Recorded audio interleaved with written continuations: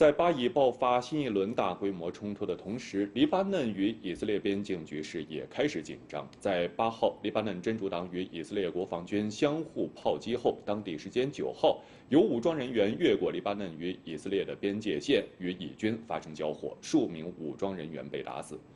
巴勒斯坦伊斯兰圣战组织杰哈德下属的圣城旅宣布对事件负责。之后，以色列炮击了黎巴嫩南部边境地区。据黎巴嫩国家通讯社九号报道，以色列当天扩大了对黎巴嫩南部地区的炮击范围。此外，以军侦察机在黎南部上空密集飞行。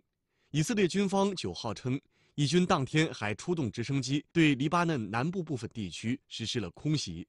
黎巴嫩真主党当天发表声明称，该组织有三名成员在以色列对黎巴嫩南部的袭击中死亡。作为回应。黎巴嫩真主党当晚向以色列位于布拉尼特和阿维维姆两地的军营发射了火箭弹和迫击炮弹。随着边境局势持续紧张，以色列与黎巴嫩方面正在迅速加强其在边境地区的军事存在，双方正在向以黎边境增兵。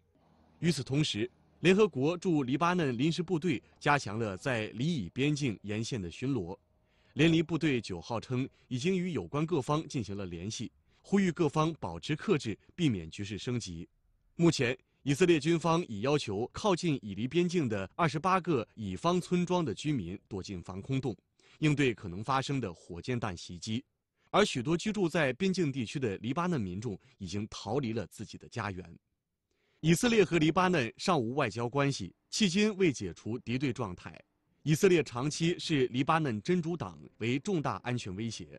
二零零六年七月。以色列与黎巴嫩真主党发生严重冲突，冲突蔓延至黎巴嫩境内多地，造成黎方接近一千二百人死亡，以方约一百五十人死亡。